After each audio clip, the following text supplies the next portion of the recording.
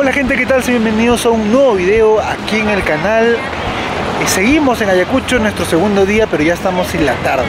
Ahorita son exactamente las 3.52 de la tarde.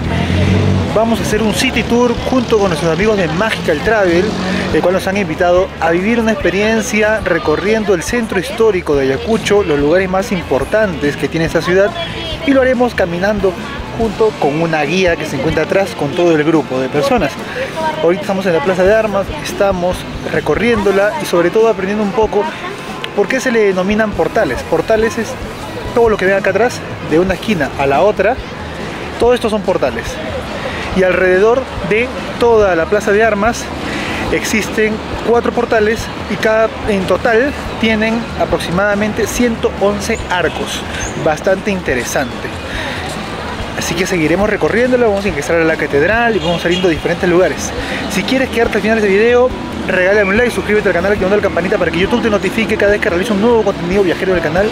Compártelo con tus amigos, sígueme en las redes que van a aparecer aquí como Jesús García Blog, Facebook, Instagram, TikTok y también sígueme en las redes de Magical Travel, que es tu mejor opción en Ayacucho, ya que cuentan con servicio turístico licenciado y también tienen hotel. Así que ahí te dejo el datazo, lo voy a dejar en la cajita de comentarios y en la descripción del video.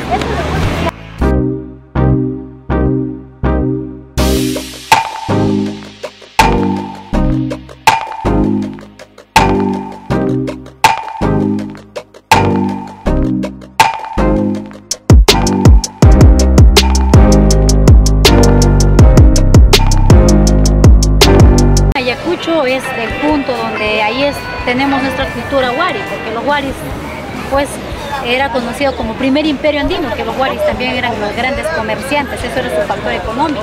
Tres mundos, pero ya es una influencia española. Es como decir que incluso ellos van a ser los sapos, que esto no fue de los incas, porque de los incas normalmente fue la serpiente, el halcón y el puma. Eso va a representar a la religión indígena, ¿no? Pero en este caso, cuando ya llegan los españoles, ellos tratan de ser los jaguares y entre otros, ¿ya no? Ahí está. Es como decir, ustedes como son mi familia, también los, nosotros vamos a hacerlo acá, para que se sientan familiarizados en este lugar. Incluso tenemos en la parte de allá del fondo el estilo inca y los balcones que ya son reconstrucciones que ya se hicieron, son nuevas de acá las que tenemos. El colorido es porque va a representar la flora, la vegetación de, la, de Ayacucho. Aquí lo que va a representar es pantilhuaita.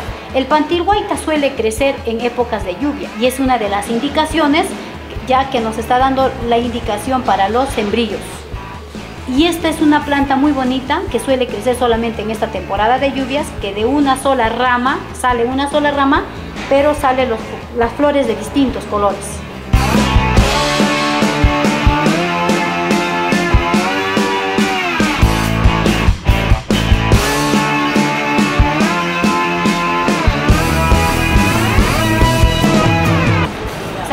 Ya hemos incentivado a la gente de que sea parte de nosotros.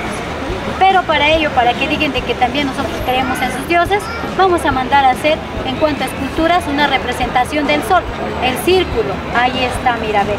En esas tres puertas, en la parte de arriba, ven ustedes círculo, ¿ven? Ahí está, ajá, exacto. La cruz está arriba de la, del círculo. La cruz siempre arriba va a representar para evangelizar. La, eh, Virgen María, que también tenemos un cuadro que representa, porque ahí está su papá y su mamá, ¿no? Y también la vida de, de Jesús que está en la parte más al fondo. ¿Ok?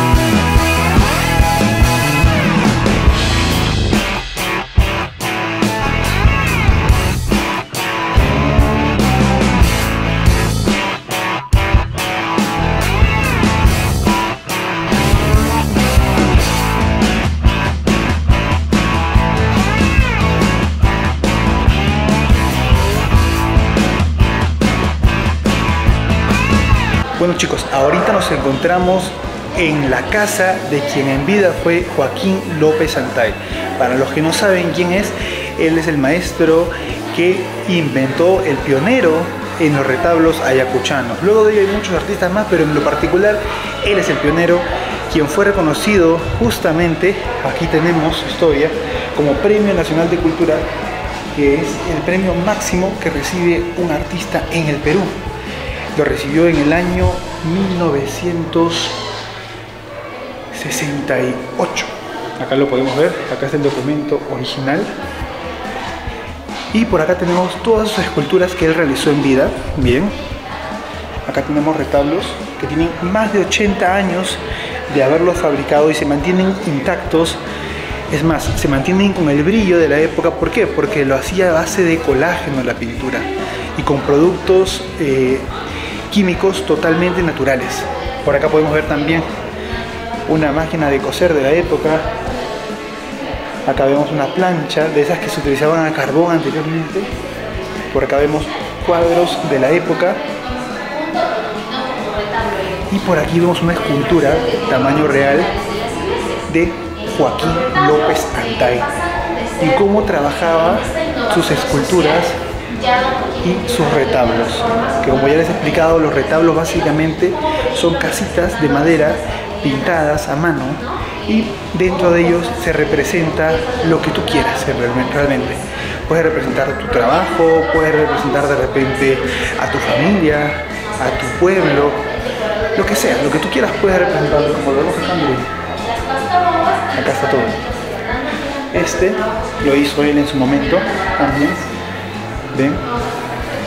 Este museo realmente es increíble, es increíble. La entrada para ingresar aquí es de tres dolcitos nada más, es un valor simbólico, es menos de un dólar y realmente es un espacio bastante cultural que tienes que venir sí o sí en tu visita a Ayacucho.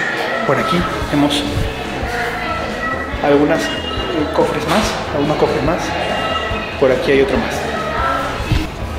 Bueno chicos, acabamos de llegar a otro punto turístico que para los que conocen a Arequipa se le va a hacer bastante familiar el mirador de Yanaguara, pero en este caso es el mirador de Acuchimay, que cuenta, bueno, es un portal gigante que cuenta con 13, em, con 13 arcos. Desde aquí tienes una vista prácticamente total de toda la ciudad de Ayacucho, donde puedes ver desde aquí la plaza de armas, el estadio Ciudad de Cumaná de Ayacucho, puedes ver el aeropuerto que está a la derecha también, puedes ver también Pampas de la Quinoa, o sea, puedes ver prácticamente todo Ayacucho desde aquí. Mírenlo nada más. Es un lugar hermosísimo para tomarse unas muy buenas fotos, así como lo harías en Yanaguara Arequipa, pero aquí es Ayacucho. Y por si no fuera poco, aquí también encuentras una rueda de Chicago y varios juegos mecánicos que se encuentran por la parte de acá. Que de verdad debe ser bien interesante subir ahí porque está prácticamente al borde del precipicio y de ahí puedes ver parte de la ciudad de Ayacucho. No sé cuánto es el precio, quería subir, pero ahorita ya está lloviendo bastante, así que no voy a poder grabar por la cámara. Así que ahorita vamos a un siguiente punto. Bueno chicos, ahorita nos encontramos en donde fue la casa del maestro Julio Galvez, quien fue un artista, un escultor de piedra, miren, piedra yacuchana. Van a estar viendo en pantalla eh, la gran mayoría de, digamos, arte. Algunos lo hacía él, otros no, porque ya lo continuó el negocio su hijo. Eh, incluso su nieto y su hermano también realiza ese tipo de trabajos. Él lamentablemente junto con uno de sus hijos fallecieron en la pandemia, pero hasta el día de hoy sigue funcionando su casa como venta de los productos que aún se venden, tanto que él haya hecho como también de los que sus hijos han continuado con esa labor, ¿no? con ese trabajo. Dicen que más o menos una escultura de, vamos a decirle, como esta de acá, esta grande de acá, que es el monumento en Pampas de la Quinoa, como todas son hechas a mano, literal, todo es a mano, le demora más o menos unos 5 meses hacerla. Si ya tiene que ver con rostros, con figuras, también le demora 4 meses más o menos. Y los precios vienen a ser más o menos de 800, 1000 soles, 1500 eh, de acuerdo a la dificultad que tenga y el tiempo que le haya tomado. Así que son realmente esculturas bastante caras, pero si te das cuenta es por el tiempo más que nada, porque ocuparte tres meses de tu vida o cuatro meses de tu vida para ganar 800, 900 dólares no es mucho realmente. Para el costo puede ser que sea bastante, pero tienes que ver el trasfondo del tiempo que esa persona ha utilizado de su vida para poder hacerlo.